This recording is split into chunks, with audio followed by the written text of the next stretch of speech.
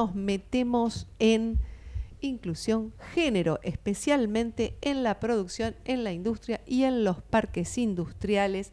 Le damos la bienvenida a Paula Basaldúa, socióloga experta precisamente en género. Bienvenida, Paula, a Conexión Parques por primera vez. Un placer tenerte acá. Muchas gracias a ambas. La verdad que nos debíamos este encuentro, así que muy contenta de poder estar acá. Y hemos reservado esta segunda mitad del programa para hablar tranquilas, tener un diálogo tranquilo y, empezamos por decir, bueno, ¿de qué hablamos cuando hablamos de género? Empecemos por el principio. Por el principio, absolutamente. Bueno, cuando hablamos de género, en realidad hablamos de relaciones de género Digo, no es un concepto abstracto y está bueno, está buena la pregunta para poder aclarar porque hay a veces mucha desinformación, a veces mucho prejuicio.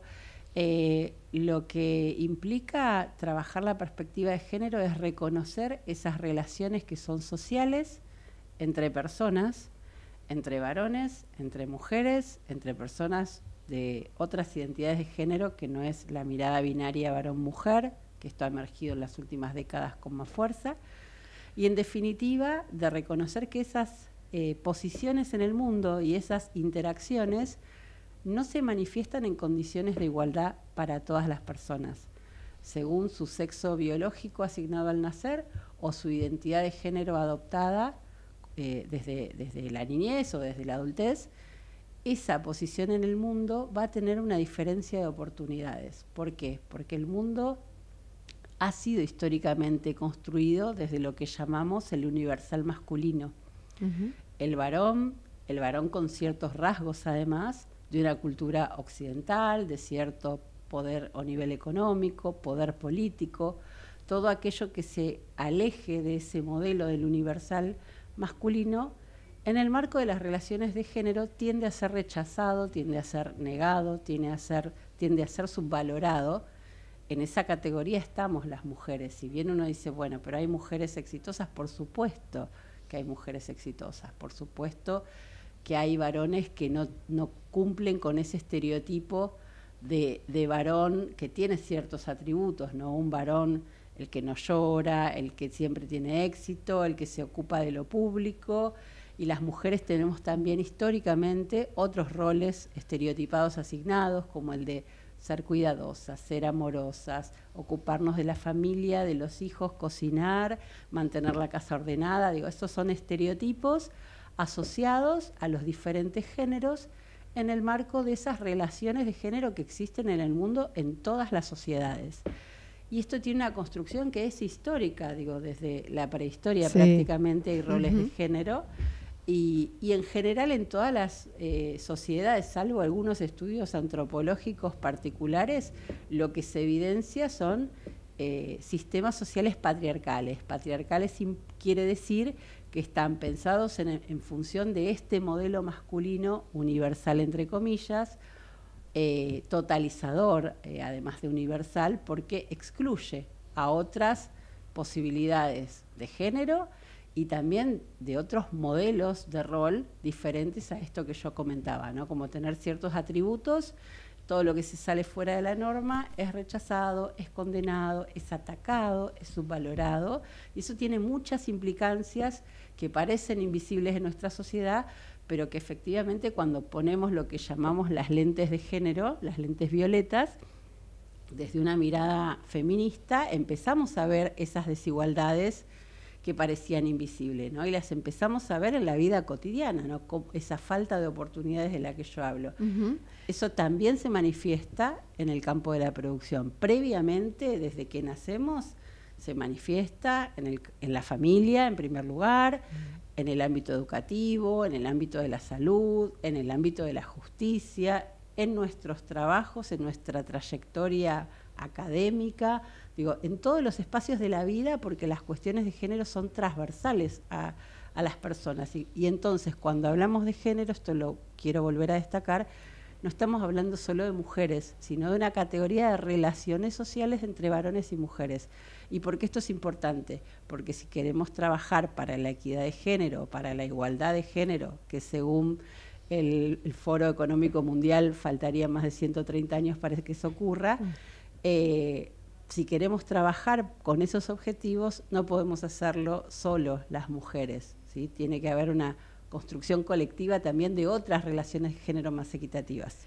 Claro, eso yo eh, justamente estaba pensando, em, ¿qué pasa con, eh, porque digamos, está en la agenda, está sobre todo en los ámbitos donde nosotros estamos eh, y nos vinculamos, está en la agenda el tema de género, pero en general hay una tendencia que lo terminan escuchando solo las mujeres y esto tiene que llegar a los hombres.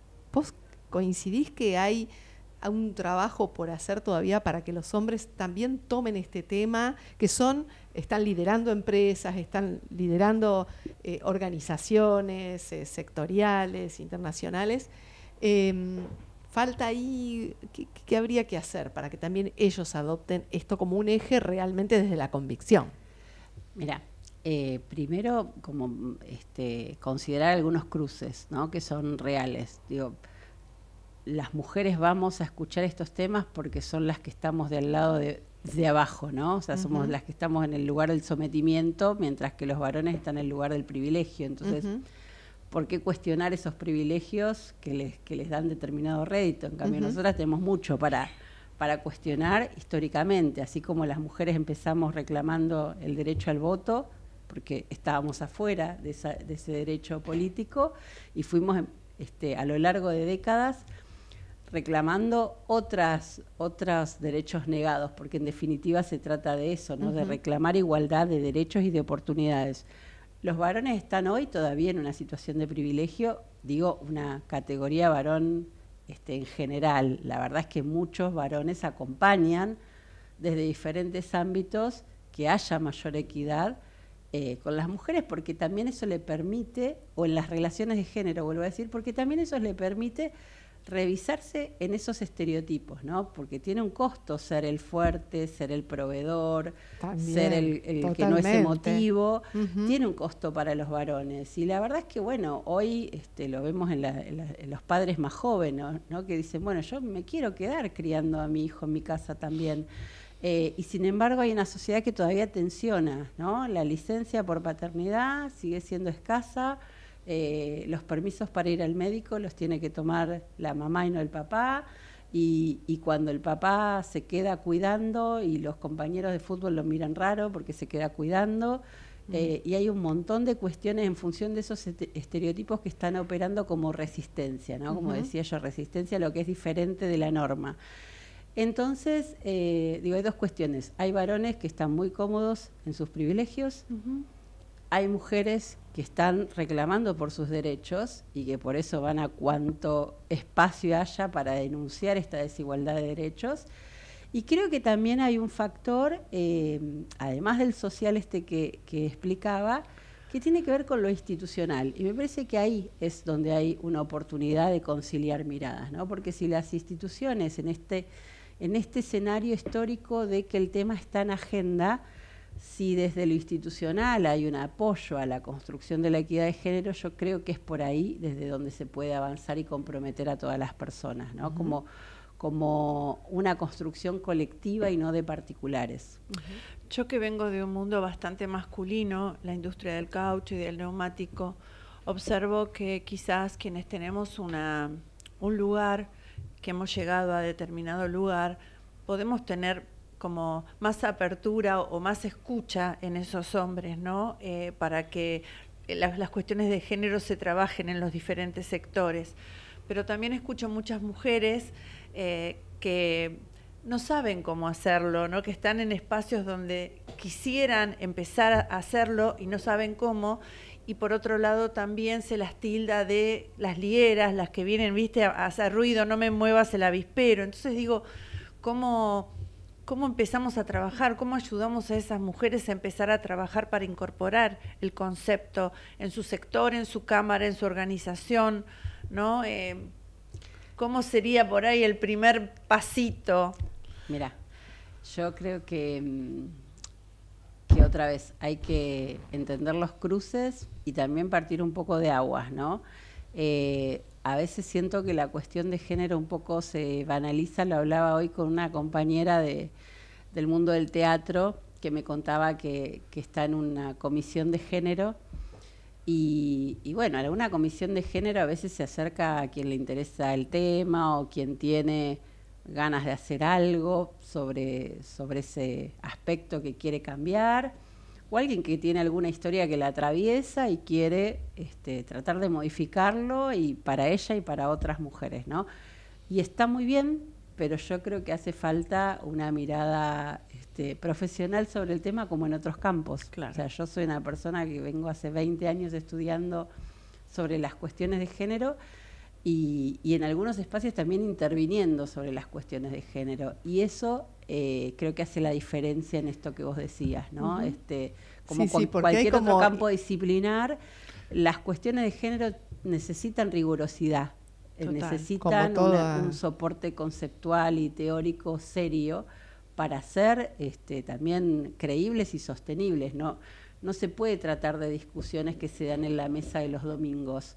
Eh, los efectos de lo que uno puede transformar cuando lo hace con esta rigurosidad, planificando, este, proponiendo acciones pensadas, eh, proyectadas y con determinadas características, suelen ser muy buenos. Pero bueno, este, yo creo que hay, que hay que hacerlo de esa manera y que también hay que darle lugar a la militancia, a los espacios de reflexión, a los espacios de empatía con las mujeres, con las mujeres y con los varones, cuestionando algunas cuestiones que decimos, bueno, esto yo lo tengo naturalizado, pero la verdad es que me empieza a hacer ruido porque veo porque soy papá de una hija, porque veo a mis hijos adolescentes, porque me encuentro en un ámbito masculinizado y veo que pasan otras cosas.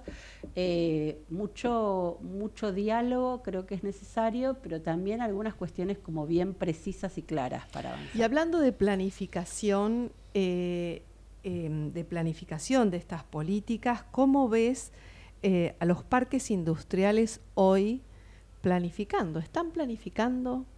conoces, digamos, eh, o, cómo, qué les recomendarías? Porque a mí a veces me dicen, mira, Lía, que vos estás con este tema, ¿qué podemos hacer?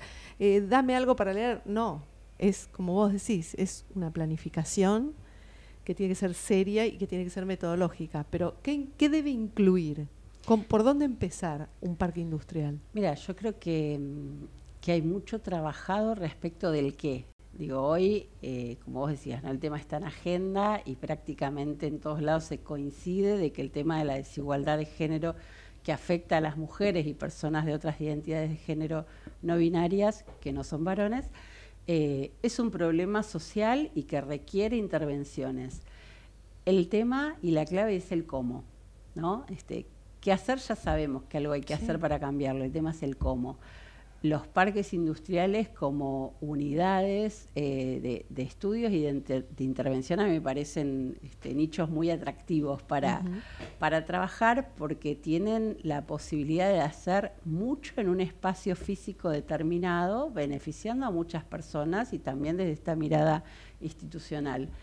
Eh, creo que en, como en cualquier ámbito de la intervención, lo primero que hay que hacer es un diagnóstico, eh, saber cada, cada este, grupo de personas que gestionan o que están involucradas en el desarrollo de ese parque, un diagnóstico de situación en torno a la perspectiva de género, como se hace este, respecto del urbanismo, respecto del desarrollo de las empresas en ese parque, bueno, hacer un diagnóstico en torno a las brechas de género, que son las que, que se van a evidenciar en el mundo de la producción específicamente, eh, digo, ahí no vamos a hablar de salud sexual y reproductiva, pero sí vamos a hablar de brechas de salariales, por ejemplo, ¿no?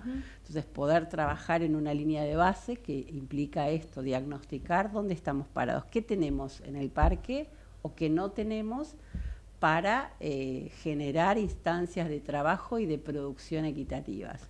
Y esto implica desde eh, algunas experiencias en torno a la, a la mirada de género en los parques, acceso seguro, acceso y traslado seguro al parque, eh, instancias que garanticen la prevención de la violencia en el ámbito laboral, infraestructura que tenga perspectiva de género vinculada al cuidado por parte de varones y por parte de mujeres y personas de otras identidades, de infraestructura que garantice que cualquier persona de cualquier género pueda trabajar en ese parque, sino que solo haya baños para varones o duchas para varones. Eh, Perdón, hace poquito eh, se salió el tema de los cuidados y la las guarderías para empresas de más, de más de 100 empleados, digo, bueno, el parque puede ser un espacio que, facilita, que facilita ese, esas guarderías, ¿no es cierto?, para que toda la gente que trabaja podría ser también... Podría ser una respuesta porque en el marco de un consorcio eh, y de un parque que puede ser público, privado o mixto, se pueden compartir los gastos, que ahí también, digo, hay que analizar a la población específica de ese parque porque no es una medida universal, ¿no? Digo, por ahí en ese parque hay personas que no tienen tantos niños pequeños como para que se necesite un espacio de cuidado fijo, pero sí por ahí algunas mujeres eh, tienen necesidad de tener a sus hijos al cuidado cuando van a alguna instancia de capacitación o un evento particular, entonces puede ser un espacio que, que no esté permanente, que esté pensado para algunas actividades puntuales. Eso debería ser regla en cualquier ámbito donde vayamos las mujeres que somos madres y que tenemos niños pequeños. Eh, entonces digo, hay un montón de herramientas para pensar la perspectiva de género dentro del parque y también eh, para pensar políticas activas por parte de las empresas en la contratación equitativa de su planta de trabajadores y trabajadoras. Digo, mm. eliminar un poco los sesgos de bueno, voy a tomar varones porque, se me, porque es lo normal, porque se me ocurre, porque lo hice toda la vida, y empezar a considerar, además de que hoy en la Argentina tenés un montón de incentivos para esto, económicos, para, para accionar de esta manera desde las políticas públicas, digo, empezar a generar eh, una mirada distinta respecto del reclutamiento de las personas trabajadoras, ¿no? de las personas que capacitas, de las personas que ingresas a tu planta, que promoves dentro de tu empresa. Eh, es, eh, integral la perspectiva que podés trabajar en los parques. Ese diagnóstico del cual hablas, Paula, ¿cuánto tiempo lleva hacer un diagnóstico? ¿Es algo costoso? Porque yo me imagino, ¿no? Un consorcio de propietarios que generalmente están hoy, sobre todo, eh, abordando temas de, las pymes, de la, estructura, digamos, del, de lo cotidiano, de la economía de la empresa, y dice, bueno, voy, vamos a, vamos a dedicarle en esta reunión de consorcio al tema de género y hacer un diagnóstico y tomar una decisión. Bueno, lo primero que preguntan, bueno, ¿cuánto, ¿cuándo, en cuánto tiempo lo vamos a hacer? ¿Qué costo tiene?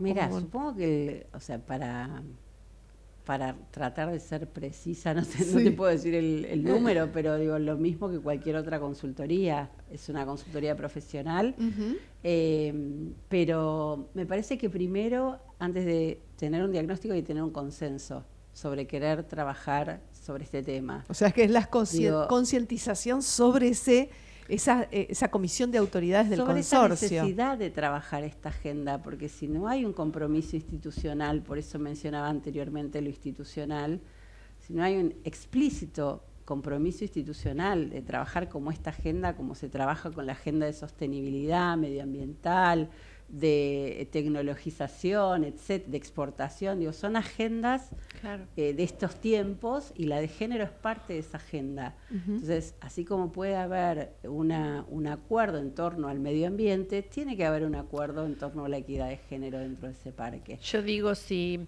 estamos diciendo que incorporar mujeres aumenta el Producto Bruto, ¿no es cierto?, de los países, porque está, eh, comprobado. esto está comprobado cuál es el valor de la diversidad en una mesa en donde se deciden temas del parque industrial. Quizá no podamos tener un número, ¿no es cierto? pero me parece que ahí hay un valor eh, intangible que este, es mucho más poderoso que a lo mejor eh, un costo económico, ¿no? Digo, es las cuestiones, eh, la, incorporación de mujeres trae eh, mesas en donde se deciden este, de otra manera, donde se complementan, donde son otras miradas que complementan. Entonces digo, todo eso es muy valioso y a lo mejor no, no tiene un número específico, pero mm. no podemos dejar de verlo. Vuelvo a, lo, vuelvo a una en este punto que vos decís se complementan. El otro día en una cena con Patricia debatíamos sobre algunas miradas y, yo ahí no estoy tan de acuerdo porque complementa una mirada masculina y la verdad es que yo lo que, lo que pregono es que se tenga en cuenta la mirada particular de las mujeres. Yo no quiero complementar una mirada de otro que es un varón. Yo lo que quiero es que se tenga en cuenta eh, mi necesidad como mujer o como persona trans, en el caso de que hubiera una persona trans. Entonces digo, eh, me parece que la cuestión de la diversidad en el, en el liderazgo de determinados espacios como una mesa de un consorcio tiene que ver con que estén representados los intereses de, todas las personas como, como sociedad, como humanidad. Yo no, no quiero complementar porque tengo mis propias necesidades, no quiero complementar las de, las de al lado. El otro día eh, tuvimos una, actividad con una compañera feminista que eh, milita por los derechos de las personas de discapacidad, con discapacidad, ¿no? Y, ella planteaba muy bien eh, las necesidades particulares de este colectivo y cómo no son tenidas en cuenta en determinada producción de bienes y servicios en nuestro país y en el mundo, ¿no? Digo, esas son situaciones particulares que desde la academia, el feminismo, se reconocen como interseccionalidades en las, en las relaciones sociales de género. Digo, hay que, hay que promover esas diferencias en la composición de, los directorios, de los consejos, de las mesas, de partidos políticos, etcétera, para poder representar a, la diversidad de personas que somos en este mundo. Sí. ¿sí? Pero además, eh, las mujeres, no, yo no quiero que complementemos a los varones cuando somos más de la mitad del mundo. Digo, y sin un posicionamiento propio del que no queremos, digo, ser tenidas en cuenta porque somos este, un montón de mujeres con necesidades que no están tenidas en cuenta en estas discusiones sobre lo productivo, sobre el desarrollo, y no es que no estemos, sino que estamos no siendo tenidas en cuenta. Entonces, también ahí eh, hago un llamado a, alzar la voz y a disputar algunos espacios eh, con, diálogo, pero firme, ¿no? Digo, este, ternura, y firmeza, como hay un libro. Igual creo que hay que involucrarse en los temas. La verdad que ese panel fue muy movilizador, por lo menos para mí. Eh, tenemos que sacarnos los anteojos y las, las lentes de ver cortito para ver más amplio, ¿no? Así es. Y bueno, invitamos a toda nuestra audiencia, por supuesto, esto es Conexión Parques, información que conecta, a eh, pensar juntos sobre esto y, por supuesto, em, empezar a, tomar conciencia, ponerlo en la agenda y dar los primeros pasos. Esto fue un diálogo con Paula Basaldúa, socióloga, experta en género, corto, pero por lo menos creo que hemos podido dejar la semillita, digamos, de, de esa toma de conciencia en nuestra audiencia.